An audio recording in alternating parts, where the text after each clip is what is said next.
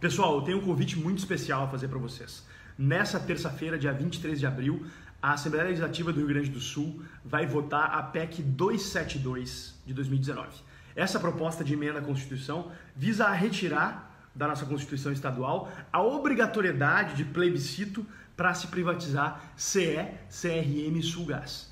Essa obrigatoriedade foi incluída no texto constitucional em 2002 pelo governo Olívio Dutra, que quis, obviamente, criar obstáculos para projetos políticos futuros que visassem a modernizar a nossa estrutura pública, privatizando ou vendendo pedaços dessas empresas. O fato é que hoje a gente tem uma oportunidade histórica de desfazer esse equívoco. E para garantir que isso aconteça de fato, é importantíssima a participação de vocês. Sim, a gente se acostumou ao longo da história do nosso Estado e das votações na Assembleia Legislativa a ver só um lado estando presente, só um lado fazendo lobby, só um lado manifestando a sua opinião.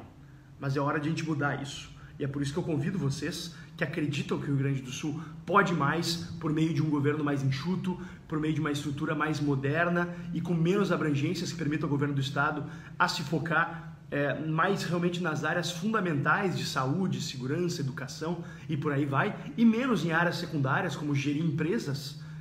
Tu que está cansado de pagar a conta da ineficiência e da incompetência dos nossos políticos e gestores públicos, tu tem que estar tá presente conosco nessa terça-feira no plenário da Assembleia Legislativa a partir das 14 horas. A entrada é franca, o acesso é livre, a Assembleia é a casa do povo do Rio Grande do Sul e não a casa dos partidos, dos sindicatos e dos grupos de pressão. É importante que isso fique claro e é importante que a população participe e tome conta do seu estado. Valeu!